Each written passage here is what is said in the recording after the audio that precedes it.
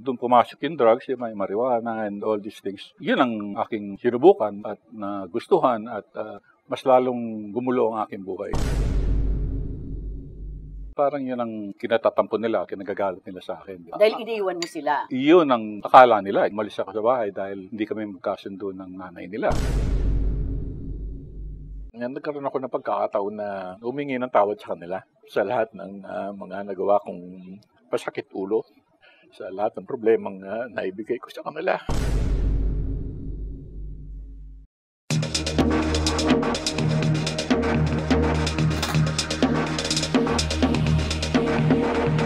Magandang araw Pilipinas at sa ating mga kababayan sa ibang bansa. Welcome to TikTok with Aster.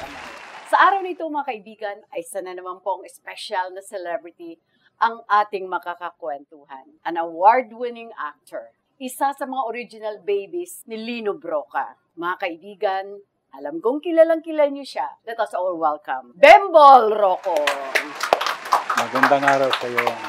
Sir, it's nice to see you in good shape, Mm-hmm. good health. Kumusta ka during the pandemic? Halos mabagok ako sa bahay uh, dahil sa walang ginagawa. So I ended up uh, cooking and uh, selling it uh, online. Talaga? You Hmm. did it talaga? Yeah, yeah oh, I learned uh, to cook from my mother. At ako nagpakain sa lahat ng mga anak ko nung malaki sila. May mga specialties akong ginagawa na Like, kalyos. wow!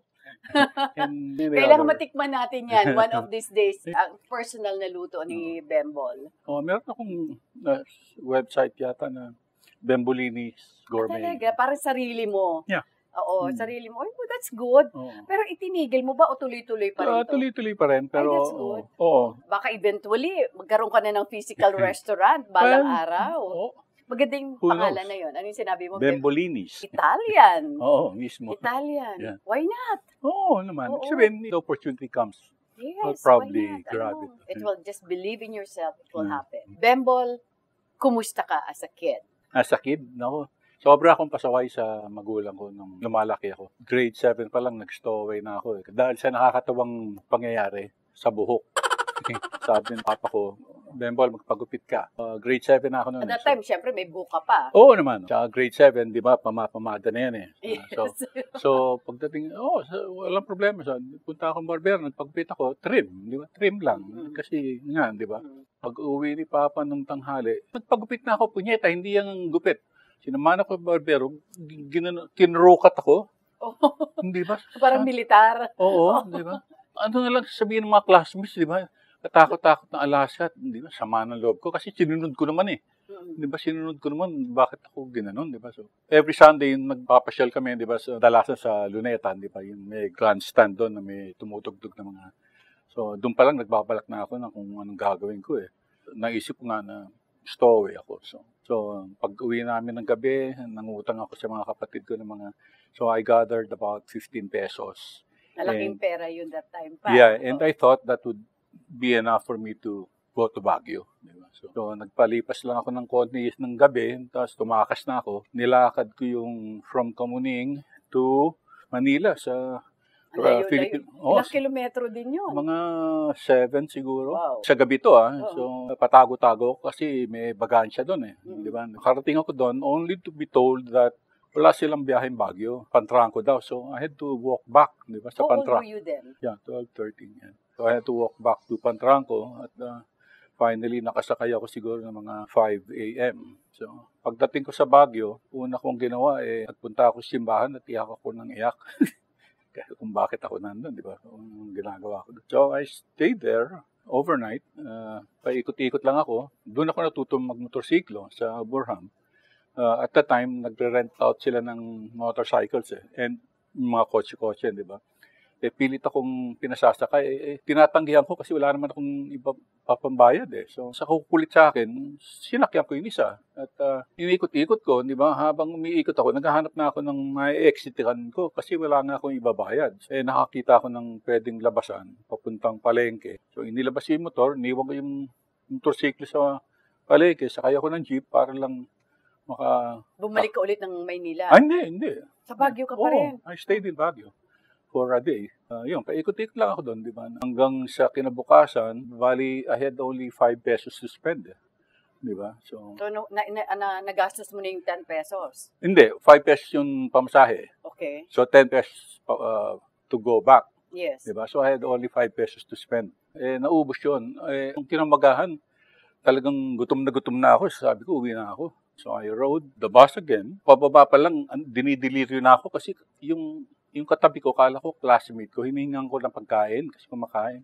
Biglang nagbabago yung paningin na patandang babae pala yung hinihingan ko ng pagkain, di ba? Sabi ko, ano ba nangyayari sa akin, di ba? So, naisip ko lang ngayon, dinidelirio na ako sa gutom siguro, di ba? So nakabalik ako, gabi na ako dumating dito. Pauwi ni, from Pantranco to Kamuning, lakad ko ulit at uh, nakasalubong ko yung jeep ng papa kasama ang mami. Sabi ko, ah, sakto, makakauwi ako nang wala sila, di ba?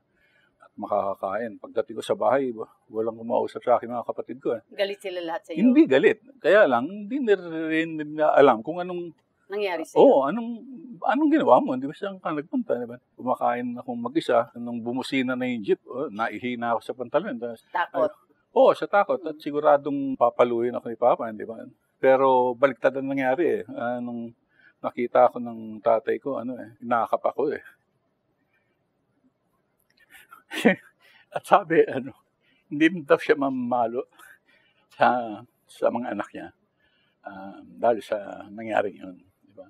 Mas lalo akong naging masama eh. Kasi sa loob-loob ko eh, kaya ko naman pala ang tatay ko eh, di ba? Bibigay din pala ang tatay ko eh. Yun, doon nagsimula ang pagiging salbahay ko, di ba? At noong mga panahon na yun, yun yung era ng dating ng mga drugs eh, mga bagong mga bagong drugs na kasi yung yung era before my era, uh, for mga lasenggo yun eh. Yun ang gawain ng mga, mga teenagers doon. Inom. Eh, nung panahon namin, eh, doon pumasok yung drugs, yung may marijuana and all these things. Yun ang ah, aking sinubukan na gustuhan at ginamit ng madalas. So, mas lalong gumulo ang aking buhay. Bawat taon eh, nalipat ako ng eskwela kasi hindi ko tinatapos ang school year. eh. Ayoko na eh. Although nakapaglaro na ako for Mapua sa NCAA. ah, Basketball. Yes. So, ang father ko kasi was a coach and a professor in Mapua and Ateneo. Eh. Nung lumalaki ako, puro bola yung nasa paligid ko. Eh. So, yun, I had, I had the experience of uh, being in a champion team uh, at that time. So, Anong work ng mom mo? my mother was always uh, taga-alaga lang ng mga anak. She never worked. So, house, housewife talaga siya. Oo. uh, kasi nga, walo kaming magkakapatid eh. So, Pero out of eight, pang-apat ka sa walong anak, apat Yes. na babae, Mm. apat na lalaki. Bakit bukod tanging ikaw ang naging pasaway? Ah, hindi ko rin maisip kung bakit ganun ang nangyari. Ang sinasabi ko nun, hindi ako mahal, di ba? Kung ano ng mga, alam ko namang hindi totoo. Para lang bigyang dahilan yung paggagamit ko ng droga at that time. Hanggang isang araw, uh, kinato kong magulang ko at sinabi ko, ah, kung hindi niyo ako ilayo dito, mamamatay na, malapit na ako mamatay ka. So the following day, they brought me to Santa Isabela sa may Manila. That was where they were referred to there ni Father Bob Garon. Kinabukasan ako dinala sa there. Doon ako nagsimula ng rehab sa East Avenue Hospital.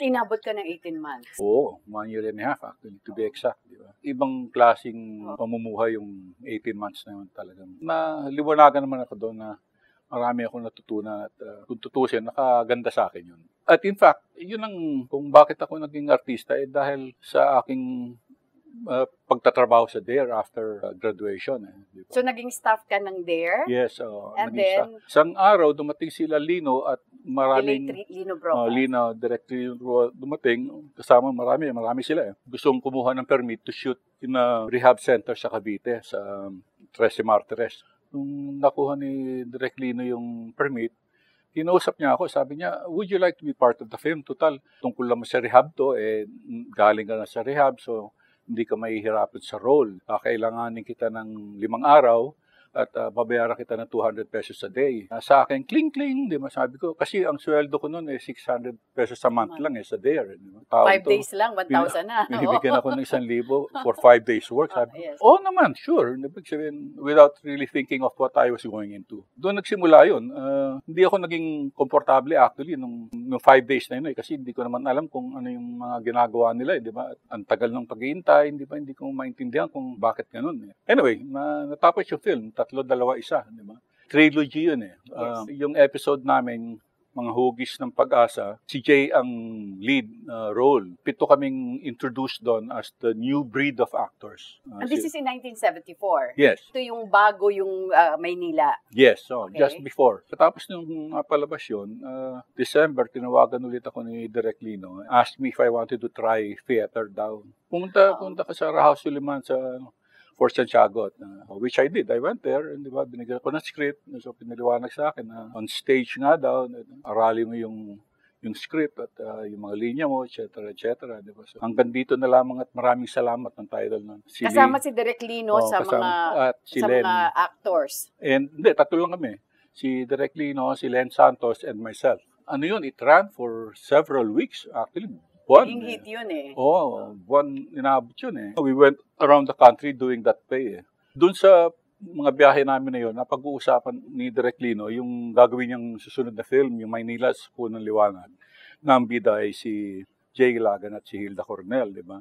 At kinausap din niya ako ulit at sabi sa akin, kukunin kita ulit para sa Maynila. Ganun din, need you for five days at bayaran kita ng 200 pesos a day, di ba? Sabi ko, oo naman, syempre. Nakatikim ka na ng 1,000 in Oo, just 5 di ba? days work. Oo. So, yun, ah, mga February, tumawag sa akin si Lino. Galing kami Mindanao nun eh. Tumawag sa akin si Lino, gabing-gabi na eh. Sabi niya, Ben, may problema sa shooting eh. Nagsushoot na siya eh. Nag-meeting daw sila ni Mike ah, nung napanood nila yung rushes. Mike De Leon. Oh, Mike De Leon. Panood nila yung first four shooting days yata nila na sabi nila parang hindi babagay kay Jay dahil medyo healthy si Jay, no? Medyo, basta parang hindi bagay. So, kailangan palitan. Di ba? So, sinong ipapalit? Di ba? So, meeting daw sila ni Mike De Leon. Napag-usapan nila, eh, susubukan nila ako Wow. to take the lead na role, di ba? Mhm. Kunin mo yung script kay Bibsy Calvario, tapos arali mo, and then may test shots ka kay Mike De Leon sa LVN. Happened so quickly eh. Simula kami mag-shoot ng Maynila, di ba? Nilagaan ako ni Direk Lino sa pag-shooting, trying to shoot it uh, na ano eh, by sequence, pero syempre hindi naman practical, so patalon-talon kami sa Manila, di ba, hanggang sa natapos yung film. Yun, it, uh, it turned out to be uh, one of the greatest uh, Filipino films ever, di ba? And that really changed everything. Uh, I Yes. became a star overnight, ika nga. di ba? Yes. Yun. Ah, Ginawa mo rin yung itim, right? Hindi, dapat sa amin ni Hilda yun eh, Yes. yung itim. Ay, ito yung napunta kay Charo. Oo. Isang araw, tinanggal na lang ako ni Mike, di ba? Dahil hindi ko daw pinromote yung film. Eh, hindi naman binili sa akin eh. Na-interview ako sa isang TV eh, Mhm. Channel 9 or Mhm. whatever. So, hindi ko binanggit yun. Eh, Tapos tumawag si Lino sa akin, galit galit si Mike sa'yo. Kasi hindi mo daw pinromote. Sabi ko, wala naman instruction sa akin eh. Hindi ba? Mhm. Hindi sinabi sa akin. Basta, tinanggal, tinanggal nga ako.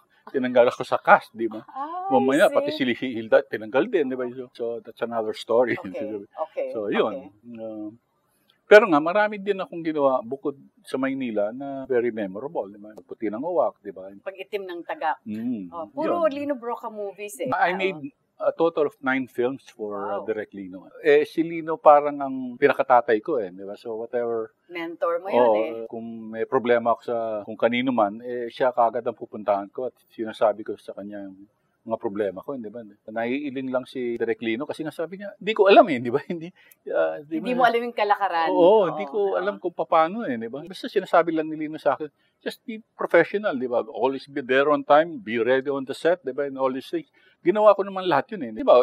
Call 8 a.m., di ba? Dadating mga alas 11, alas 12, di ba? Kanina pa ako alas 8 dito, yun ang call ko eh, di ba? Hindi nga ganun ang... Nangyayari. Oo, ang lakaran pa din, di ba? That's how it was. And I couldn't really adjust na ganun eh, di ba? Yung, ano pang klaseng profession to na na ganun, di ba? Na, you try to be professional, Oo, pero marami wa- unprofessional hindi nasusukli yung baliwala yung professionalism, di ba? Right. Okay, you did the movie with uh, Noro Honor. Yes. Tatlong taong walang Diyos. Yes. Oh. Another award-winning Yes. movie. Mm.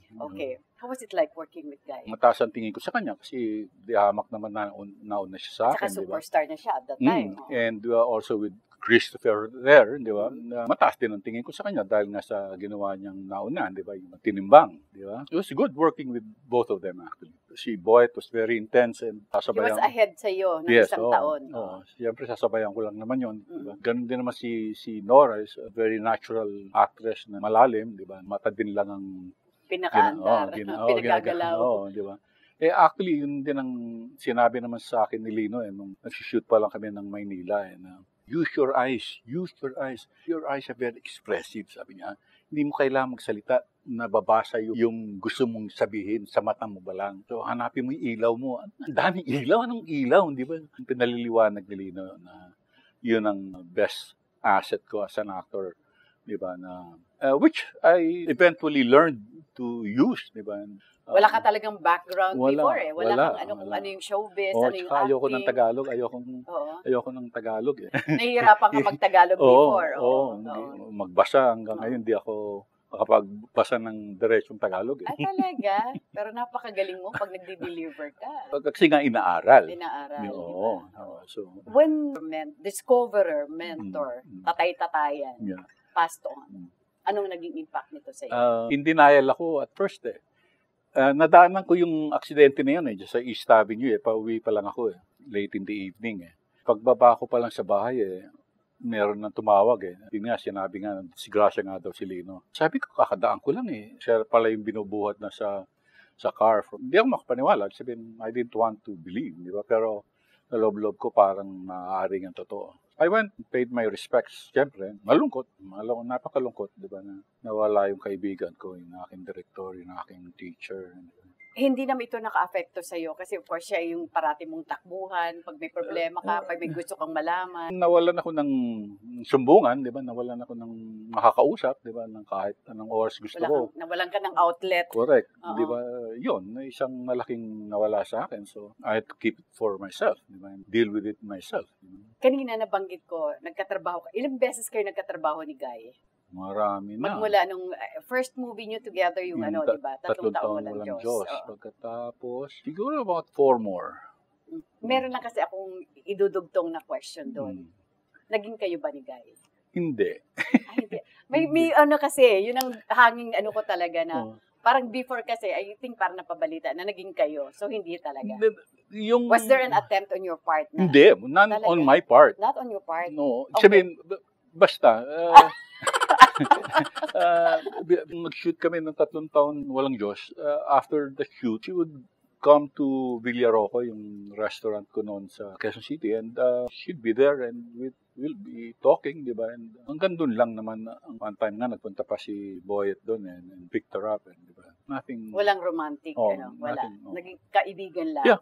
So, mali pala yun. Mali yung... Pero naging- hindi, ala- alam ko yung... Chismis, di ba? Na-chismis Oo, before eh, na naging kayo eh. Pero At not true. least na-confirm ko na hindi pala. Hindi Not naman true, pala. Eh, you're almost five decades in the industry. Maraming advantages, maraming disadvantages, maraming frustrations. Anong pwede mong mai-share sa amin na, gaya yung sinabi mo kanina, you try to be professional, pero some people are still not. Yeah. Diba? So, I know it's still happening Oo. up to this day, up to this time. At this point kasi ano eh, tanggap ko na, tanggap ko na na gano'n ang ang sistema, Ang kalakaran. ang walang ka sa sistema, di ba? uh, I've learned to to deal with it, di ba? Sa akin naman, ang katapat lang yan, crossword, di ba? And keep myself busy. Instead na may stress ka Oo, or magalit ka. Oo, uh, marami You try pwedeng... to be productive. Oh, yeah, oo, Oo, naman. kay- oo naman. kaysa Kaysa, magsayang ka lang. magmumukmuk ako na, Yes. di ba? At magalit ka Oo, lang at di ba? mainis. Inis, di ba? Hindi na. So, my way of uh, dealing with it, di ba? And uh, I think uh, it worked well. There were some who were really extraordinarily good, malalalim na gagaling, di ba? Marami kayo. Nakakatuwa eh, kasi it's not competing with them, pero yung kailangan sabayan, kailangan sabayan ko sila, di ba? hindi parang lalamunin ka eh. Oo, di ba? ng Parang buhay.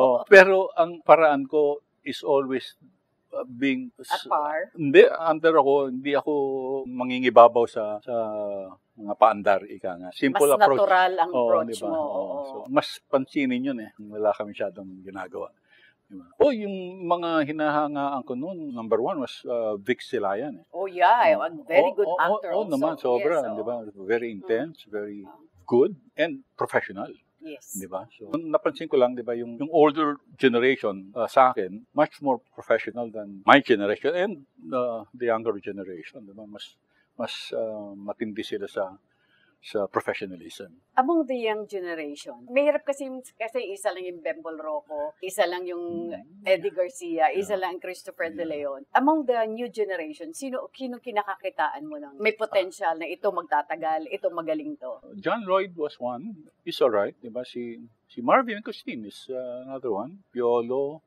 somehow. Sa mga babae, well, of course, Judian is uh, always good. Di ba? Mga natural actors. Oo, so. di ba? Hindi naman ganun karami. hindi ganun karami. Just like other couples, isa ka sa hindi nag-last, nauwi rin sa hiwalayan ang relasyon nyo, mag-asawa. yeah. And you have five beautiful kids, di Yes, ba? yes. Only one girl. Yes. Apat sa kanila ay pumasok na rin sa showbiz. Hindi, Ay, dalawa. dalawa pala. I'm sorry. Mm, The yeah. twins, si Dominic at saka si, ano, Felix. si Felix. Mm. So, tumunod na rin sa mayapak mo. Mm. There was also a time, Bems, na nagkaroon kayo ng problema ng twins mo. Nagkaroon ako ng problema sa kanilang lahat apparently. Oh. sa mga anak ko. Ang dahilan ay parang nagalit sila dahil sa umalis ako sa Ay, sa bahay. Yung, ikaw ang umalis ng bahay. Oo, ako Okay. ang umalis ng bahay. Ah, parang yun ang kinatatampo nila, kinagagalit nila sa akin. Dahil iniiwan mo sila. Yun ang kala nila. Ibig Sabihin, sa pagkakaalam ko naman, eh, nakausap ko naman sila bago pa nangyari yun eh. Na maaaring ang umalis ako sa bahay dahil hindi kami magkasundo ng nanay nila. Dumating nga yung punto na yun na umalis na ako doon, hindi ko na matake, di ba? So, hindi ko naman sila nakausap agad after for many years. Ganun pala ang sentiments nila. Hindi ko maintindihan eh. Sabi ko, sa akin personally, sabi ko, wala akong kasalanan sa inyo. Wala akong pagkukulang sa inyo. Na pag-aaral ko kayong lahat, di ba? Gawa ko yung responsibility ko bilang ama sa inyong lahat. Pero nga, eh, hindi ganun ang pakiramdam nila. Naayos ko yun by talking to them one-on-one. Made things clear. Hindi totoo yung sinasabi nyo na iniwan ko kayo ng ganun na lang. Basta naka, naayos ko yun. At And, least uh, na made it up with them. Oh yeah, yeah, absolutely, absolutely. Oo. And up to this day, I think we're we're all all right. I mean, we understand each other better now. Even with my wife, I feel good as a father now. I Um, understand you're very good friends with your ex. Oh yeah, yeah. Oo. We we have turned out to be very good friends after that, which is good. I mean? Uh, never really happened that way nung Magkasama nandun- pa kayo. Oo, correct. No? So malabo na magkabalikan pa kayo. Hindi, we're not saying that. Di Oh yeah. It's just, Oo. it's just that, So you're the- still open to naman. that possibility. Oo naman. Bakit Oo. naman hindi? How long has that been? Mag magmula na magkahiwalay kayo? Umalis ako ng bahay ng 2006. eh. Uy, matagal-tagal na rin. Matagal na. oh. But both of you remain single. O, di ba? Wala, wala naman nag-asawa sa inyo. Wala Correct. naman, di ba? So I think, uh, kumbaga, yung pintuan bukas pa rin. Oo naman. Bukas Oo pa rin, naman. no? That's nice to hear. Oh, yeah. Oo, so, so ngayong oh, okay ng relasyon mo with your kids. You have five, right? Yes, yes. On, on- with only one girl. Yes. Bakit itong dalawa lang nagka-interest, itong kamba lang nagka-interest sa sa showbiz? Wala akong kinalaman dun eh. Sabihin, bigla na. Pagpasok nila, Oo. Basta, nasa ABS na lang sila. And, ayun, pumasok na nga, di ba na? nagulat ka. Oo. Kung alam kong pagkakaintindihan namin dun eh, tapusin nyo muna yung pag-aaral nyo. Think about it, di ba? Eh, bigla silang pumasok eh. Di ba? Before they were 18, nandun na eh. Sabihin, di ba, eh, di syempre kailangan supportahan ko, di ba? So, I talk to them about how you have to deal with all these people. Sabihin, di ba, I've worked with many of them. Basta maging professional kayo, di ba? Behave and, uh, di ba, respectful and courteous, di ba? And uh, all will be good. di ba? Your bonding moments with your kids or with your children. Mm, Before about the pandemic, parati kami nagkikita during birthdays ng mga anak. Special Diba? occasions. Oo, so. di ba? That's the only time we, we are all together, kumbaga. Especially nung pandemic, uh, it was enjoyable eh, kasi bahay lang naman. Eh. Kumuling lang sila nagpupunta pag uh, birthdays and be there for the day. And, di ba? Are your parents still alive? No, no. My parents uh, are both gone. Are both- Pero mami ko passed away what, seven years ago, mga ganyan. Pero yun nga, nung umuwi ako dito ulit sa, sa Kamuning, uh, I took care of her kasi start na yung uh, dementia sa kanya at that time. Eh. Hanggang sa huling hininga niya, eh, nandun Ikaw ako sa- nag-alaga. pati yung mga kapatid kong dalawang kapatid na babae until the end. So, it was a long process na ma- mahirap at masakit. Kung halimbawa lang, buhay pa ang mami mo at daddy mo, anong mensahe mo sa kanila? Well, uh, that all is good. Thank you for uh, bringing us the way you did, di ba? And uh, and uh, you were really great parents. Um, you you taught us very good values, and uh, we will never forget that. Your dad. Ang napapa kasi ano eh. Kakaiba yun eh. Uh, I haven't seen um, uh, somebody like my father who was uh, totally religious. Dalawang beses nagsisimba yun sa isang araw. Uh, is umaga bago magatid sa eskwela at pagkatapos ng trabaho. Ang papa ano eh, di, hindi naman mapagsalita yun. Hindi kwento masyado. Uh, pero ang uh, paniniwala niya sa Panginoon ay tunay at uh, malalim. Uh, pareho sila ng mama. Uh, at kahanga-hanga talaga. Uh, isang taong uh, try to be Christ-like, di ba? Sa lahat ng gawain, sa kilos, uh, sa pananalita. Napaka buting mga tao ng uh, magulang ko. Hindi, ang sa akin lang, uh, nagkaroon ako ng pagkakataon na humingi ng tawad sa kanila sa lahat ng uh, mga nagawa kong pasakit ulo sa sa lahat ng problemang uh, naibigay ko sa kanila. At nakabawi ka sa kanila. At naka, kahit pa paano uh, nakabawi at uh, 'di ba, nakakumanda ang buhay at uh, dahil nga sa kanila. Napakalaking bagay sa akin 'yon. Hingi ako ng tawad habang buhay pa sila. Mahal ko mga magulang ko. Anong mensahe mo sa mga anak mo? Unahin na naman natin muna yung kambal, si uh, Dom at saka si Felix. Ang totoo, gusto kong sabihin sa kanila, ano eh, isipin nila kung uh, baka mas, mas makaganda ang uh, uh, pasukin ng ibang hanap buhay. Magagaling sila mga artista. Kaya lang, uh, ang sistema dito hindi sa pagalingan eh. Pagwapuhan lang, pa, di ba, pa, pagandahan lang hindi sa galing. Uh, pwedeng pwede naman eh. Uh, diba? Bata pa naman sila. So, yun lang. Ang uh, iba namang mga anak maayos yung naman. Yung panganay mo, si, uh, uh, si uh, Junior. Si, oh, si, si the third. Siya the third. Oo, oh, si, uh, oh, si thirdy. Yeah. oh. Ayos naman. Kaya lang, uh, may konting mga iniisip. At, uh, so yung may asawa na? Wala. Ah, wala pa. wala. Ah, yung apat na lalaki and walang asawa. Yep. Yung oh, only girl mo lang ano. Oh, At ibang pakiramdam oh, ng may apo ka ng sarili, yeah, di ba? Yeah, yeah. 14 na yung apo kong babae, di ba? Dalagita na yun. May leaning din ba mag-showbiz? Ah, hindi naman siguro. Hindi. So kung if given the choice, pwede lang itong kambal na si uh, si Felix at saka si Dom ay sana nakapagtapos ba sila ng pag-aaral nila? Hindi nga eh. Hindi ako happy. Sabihin they're not getting enough jobs sa galing nila. Sayang, sayang naman yung galing nyo kung hindi naman magagamit yan.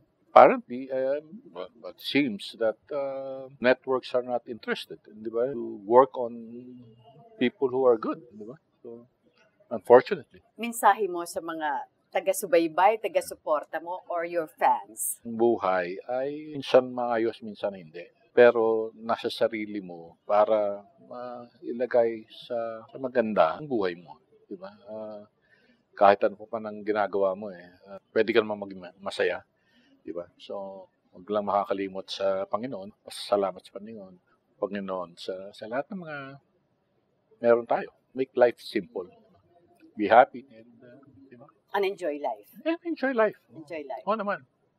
Ikaw na rin nagsabi, pitong dekada. Is there a time na minsan napapag-isip o iniisip mo na na I wanted to stop at a certain age or stop uh, working or in showbiz at a certain age? No. Para no. kasi Tito Eddie Garcia, di ba? Eh, in fact, uh, parang ang feeling ko nga, doon ako tutungo, katulad ni Manoy, di ba, na he lived life well. Sabihin, di ba? A respect, respectable actor, Oo. director, Oo, di ba? di ba? I think that's where I'm headed. Bago mong proyekto na Uh, pinagkakabalahan? Uh, I'll be doing another film with uh, director Adolf Alex po on uh, after Holy Week. Meron akong ginawa din sa kanya recently. Ito ba yung kay ano? Kay Kay Nora. Alfred? Oh, yeah, yeah, yeah. Oh, with Alfred. Oh, di ba? Yeah, oh, and Nora, Yes. di ba? Pieta, correct, di ba? So, last year, di ba, yung Lolong. So, with Yes, GMA. the, the di ba? TV series na Yeah. hit. Hit Mm. TV series ng Yeah, GMA. Yeah, I'm waiting for the next one. So ito yung mga kailangan nilang abangan. Yep. Mga bago. Oh, Bago kita pasalamatan, Bems, uh, please allow me to thank my personal sponsor, Pandan Asian Cafe. Maraming salamat, Dennis, uh, Alvin, and of course, Roland, and the rest of the gang, Chef Tatung, thank you very much. Ever Belena, Hello Glow, Most View from Japan, Beauty Derm, Nutritech, thank you so much, Jos de la Luna, Aficionado by Joel Cruz, Erase Beauty Care, Vanilla Skin Clinic at Robinson's Magnolia, Mesa Tomas Morato, Richie's Kitchen by Richie Ang, Nes Astila Salon for my hair and makeup, Gandang Rick Reyes, Chato Sugay Jimenez, Bebot Santos at Colorete Clothing. Maraming salamat din kay uh, uh, Ronald Arnaldo for my clothes and Studio Manila, Manila Bulletin. Thank you so much, uh, Bobby Recantina. At kayo rin mga kaibigan sa inyong patuloy na pagsubaybay at pagsuporta sa TikTok with Aster Amoyo. Every Friday po yan. Huwag niyong kakalimutan, 12 noon. Dembol, it was really, it was really an honor having you here. This is our very, very first uh, Uh, ano- serious. Ano? Seryo, eh, seryoso ba? Dapat kwentuhan lang, umiyak ka eh. Chinese ka eh. hindi, hindi ko alam na. oh, mabuti na lang, I, I was, ah, I, I kept my ano talaga, dahil andito na rin eh. Anyway, maraming maraming salamat for sharing your life story with us at sa ating mga manunood. Maraming Uh, salamat. Of course, your message to everyone. Uh, life is good. God is good. Be good. And with that, mga kaibigan, maraming maraming salamat po muli. Hanggang sa susunod, dito lamang po sa TikTok with Aster Amoyo. God bless us all. See you next time.